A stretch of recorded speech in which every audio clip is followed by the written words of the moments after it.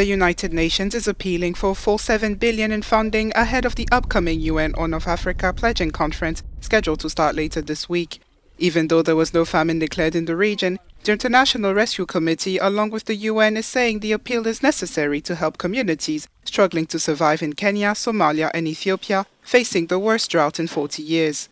What we would want to see these resources being used for and what we would want to use them for is to promote and to find ways in which we can promote pastoral or agro-pastoral livelihoods which is, which is adapted to the climate change that we are seeing which is adapted to the change in their environment.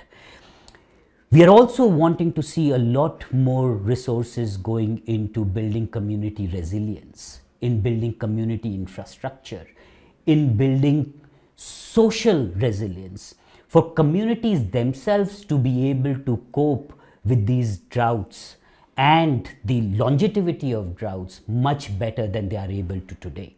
The United States approved nearly 524 million in additional humanitarian aid for the region aiming to put a spotlight on the extreme effects of climate change. We are able to ensure that the money is going to the communities. The money is going for drilling or rehabilitating a borehole. The money is going for cash transfers directly in the hands of the populations that are affected. The money is going for treatment of the child that is severely acutely malnourished.